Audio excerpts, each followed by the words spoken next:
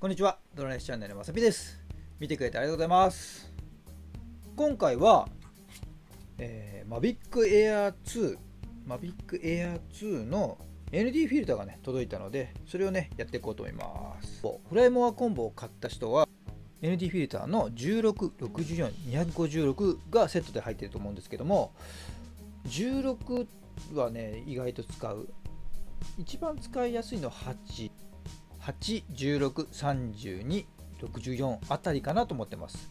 だから16と64ってその間がね、ないのがちょっと辛いですよね。Mavic 2だと、Mavic 2のプロだと、あの絞りがあるんですよ。ニッパチから11ぐらいまでね。だから多少こう ND フィルターがあの間が空いてても、その間はこう絞りで、えー、ニッパチだったら4にすればあの1段とかね1.5段あ2段とかね変えられるんですよ。ですけど Mavic Air 2は絞りがないんで変えれないじゃないですか。もうシャッタースピードで変えるしか絞りを変えるしかないんで ND フィルターを使いたいってことはあの基本シャッタースピードね。固定で使いたいんですよ。例えば、えー、60p、60p で撮るんであれば120分の1あの自分が撮ってるなんだっけフレームレート 30p とかね 60p とかの倍で撮るのが一番合ってるって言われてるんですけども基本僕はね100前後で撮ることが多いです。60だとちょっとブレブレすぎちゃう時があるので特にねあのドローンは早く動くじゃないですか。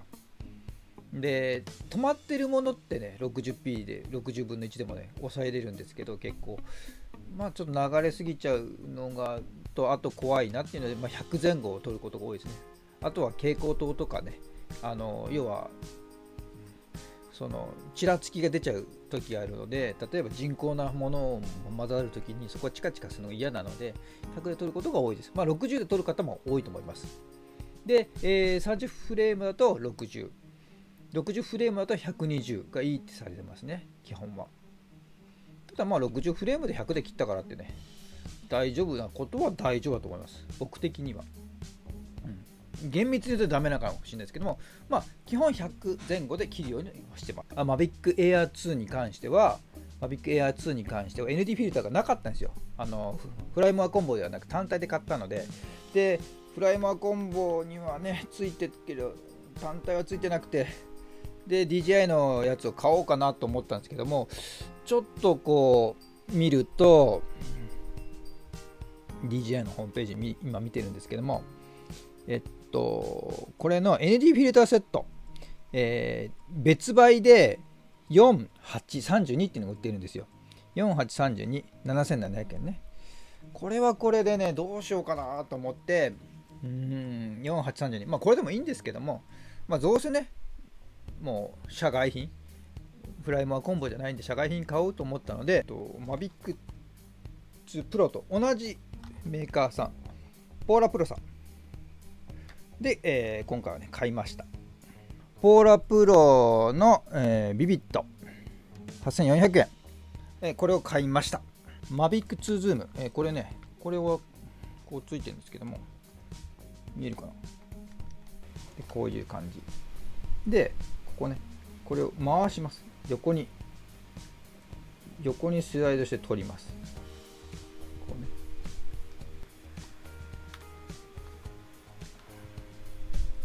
こうね。こう横にスライドしてこう。でカッチと。ND くるくる回るんですよ。これが今ついてるのが、えー、MD の16ですね。16がついてます。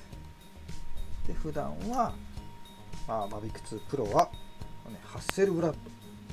ハッセルブラッドっていう文字が書いてあるんですね。かっこいいですよね。このガラスがかっこいいんですけどこれがこうついてます。こうね。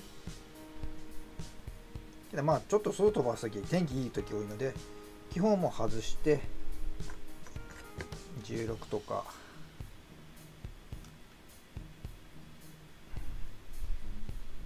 16あたりをつけてます。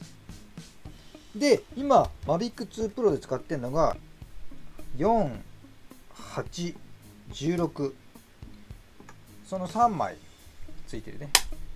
3枚ついてるやつですね。32がね本当は欲しいんですけどちょっとねまあ3枚、えー、ですね。でこれ買った時はポーラプロの本社海外から取り寄せ取り寄せてどこか、えー、取り寄せたんですよ。プラス送料かかったんですけども Mavic2 に関しては Amazon でね売ってましたんで今回買ったのが ND の 8PL これなんだこれ？ND8 の PL ND16 の PL ND32 の PL Mavic あこれこっちも PL か。えっと Mavic2 Pro も PL でしたね。それが届いたらちょっと開けてみようかなと思います。こういう袋に入ってあなんかクロスクロスが入ってでケースがちっちゃい。ちっちゃ。オーラプロ。マビックと比べてみてください。ちっちゃくないですか、まあ、本体がねちっちゃう。違うんでね。はいかなりちっちゃいですね。えっ、ー、とこれが Mavic Air 用。Mavic 2 Pro 用。やっぱ画面のねレンズのサイズが違いますね。けど基本は同じような形ですね。にあって開きましたね。よいしょ。これぐらい違いますサイズ感がね。外していく。多分ね付け方一緒だと思うんですけどね。見えるかな？これを持ってカメラをしっかり持って、ね、こう同じ方向にスライドして。ちっちゃいんでね。でじゃあ16をつけてみますか。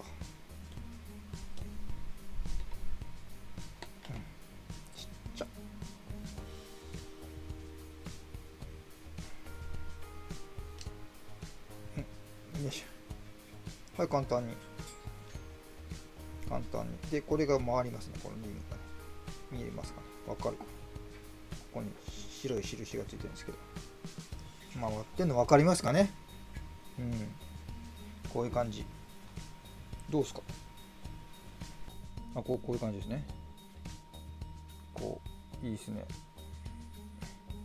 かっこよくないですか。マビック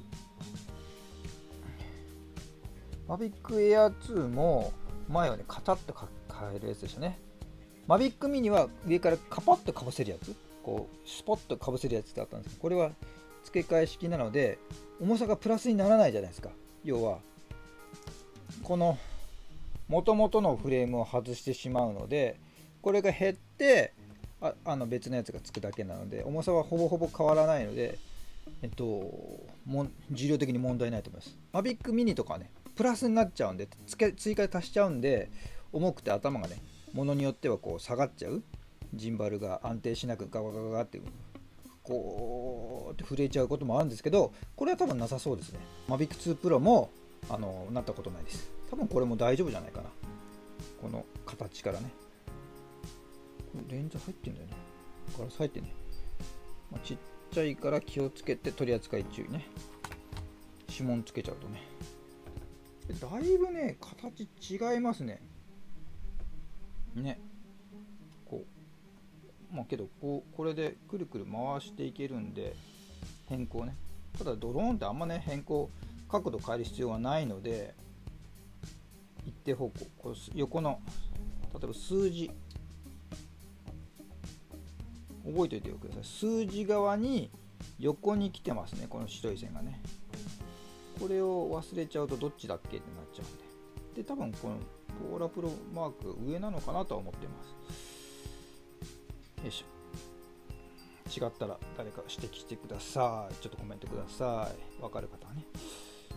PL に関しては角度があるんですよ。その角度で回してってこう水面とかね基本は水面だと思うんですよ水面とか空とかのね反射を少なくするんですけどもまあ、水面に関して大概は水面が多いと思うんですねドローンに関してはね。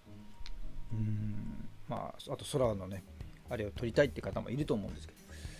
その時は方向逆にしなきゃいけないのかな。どうなんだろう。空と水。ちょっとそこに詳しい方いたらねちょっと教えてください。あんまり風景写真を、ね、撮るタイ僕はあんま撮らないんで例えば水と空。見ながら変えればいいじゃないですか。普段写真はね。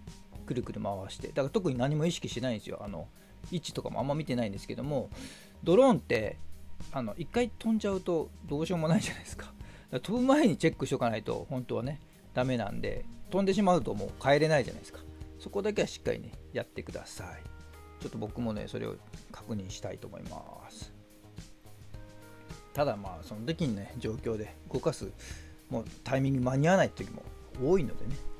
一回こうやって覚えておけば位置を覚えておけばいいと思います。まあ空空空空と水、まあ、太陽の光の入り方によっても違うのかな、まあ、微妙ですね。そこら辺はちょっと。うん。まあ、そこはちょっとね、えー、と詳しい方、PL に詳しい方、教えてください。えー、で、実際今ね、取りに行きたいんですけども、今、梅雨じゃないですか。梅雨でほとんど晴れないんですよね。で、曇りか、あの雨が降るとかね。なので、まだ試してないです。試してないです。ただ、これ、晴れた時に、次回ね、次回からちゃんと使っていこうと思いますんで、これは楽しみですね。値段はちょっと高かったです。はっきり言ってちょっと高いですね。えー、8000円、8470円。ちょっとお高いんですけども、まあ、ND と PL 両方ついてるんで、そういう点はね、いいと思います。ポーラプロに関して言えば、絶対的な、あのー、信頼を僕は持ってます。この、マビックでも使ってるし、あと GoPro。GoPro も僕はポーラプロを使ってます。これもね、値段結構ね、お高いんですよ。お高いけど金色でかっこいいっていうのはかっこよくないですか？ほらここに P 見えます？ポーラプロの P が書いてますねこういう形でね使ってますねこれを。お ND のいくつだこれ。書いてないな。下に書いてないあ ND の8とかね。ポーラプロね。GoPro でも使ってます。ものはねすごくいいので僕はちょっと高いけども信頼して使ってます。まあ他のメーカーさんでもいいのもあるんでまあ、お気に入りがあれば皆さんそれを使ってください。ただえっ、ー、とマイビックミニで買った去年買ったあ今年かな？マビックミニで用に買った ND フィルターはちょっと色がついててえー、良くなかったですね。えー、まあ、まあ、ビッグミニなんでもういいやと思ってそのまま使ってます。今現在ね、使ってるんですけども、うん、色はちょっとくすんじゃいます。不思議な、ちょっと色がついちゃうんですよね。基本 ND フィルターって色ついちゃダメなんで、えー、ね、そういう濁ってないものをおすすめします。うん、まあね、そういう感じで今日は、ポーラプロ。ポーラプロの ND フィルターを紹介しましたそんな感じで今日はポーラプロの ND フィルターを紹介しましたもしかしたらこれね Amazon とかで売ってたらそれリンク貼っときますこれに関しても多分ねうん GoPro どっちかな、まあ、本国で買ったんですよ。まだ今だったら商品あるかもしれない。んで、あったらリンク貼っておきます。なければ、えー、こちらだけね、リンク貼っておきます。はい、まあそんな感じでね、ND フィルター。こう、まあ、付け方もね、簡単なんですよ。前前押さえてちょっとここ斜めにねじればいいだけなんで。あの意外と簡単にいきます。まあジンバルを壊さないね。気をつけながら変えてみてください。本当ね ND フィルター1枚あるだけであの写真がね動画がカクカクしなくなるんですよ。うん。やっぱり動画の時は滑らかにつなぎたいんでそれはね欲しいとこですね。ぜひぜひ皆さんね ND フィルター持ってる方プライモアコンボで持ってる方とかねもう最初から入ってるじゃないですか。たらその時その時で使ってみてください。まあ、途中で天気が変わってっていう時もあるんですけど、うん、まあ意外にいけるんじゃないですかね。ただオートにしちゃうとシャッタースピードで変えちゃうんですよね基本は。シャッタースピードとか感度とかで変えてしまうので感度で設定を変えてシャッタースピードを動かさないマニュアルにするとうん滑らかな、ね、映像が撮りやすくなります。ただ ND でもね使い切れない時もあります。たまにはね、うん、状況によってね。そういう時はもうしょうがない。200分の1とか250分の1とかね切っちゃう。使っちゃうんですけれども。うん。まあそういう時以外は基本は頑張って ND をね使える方は使ってください。ある方はね。ない方はおすすめです。もっとね安い3000円ぐらいのやつもあるんですよ。マビケや2で撮るときに画質が悪くてなんかこう色がついて残念な感じになるからだったらもういいやと思って8000円でね。8000円、まあ、8500円ぐらいなんですけども綺麗な映像が撮れるんだったらそっちは僕は撮りました。あとは DJI で出てるやつね。ただ DJI は本当中途半端なこの2種類じゃないですか。標準でついているのがえっと1664256で別売で売ってるのが4832で7700円ですかね。1つね。ちょっとこれ、うん、2つ買えよっていう、こ6枚買えよっていうような感じで、でこれは、N えーと、PL はついてないのかな ?ND だけですね。ND だけみたいですね。うん。だからそういう意味では、こっちの方がね、1枚で、えー、2つ使い勝手があるので、便利だと思います。あと、ちょうどいいところね。8、16、30ちょうどいいぐらいですね。4はちょっと薄すぎるとき多いので、うん。ちょうど一番ベストじゃないかなと思って今回買ってみました。もしよかったら使ってみてください。皆さんがおすすめのね ND フィルターとかねもしあればね教えてください。あとフィルターとかねこんなのフィルター使ってますよ。あと PL ねこう決め方こうやって決めてますよっていうのがあったら教えてください。コメントの方に書いておいてください。よろしくお願いします。はい、今日はこんな感じでね、え、ND フィルター紹介しました。面白かったらグッドボタン、チャンネル登録よろしくお願いします。それじゃあ、またバイバイ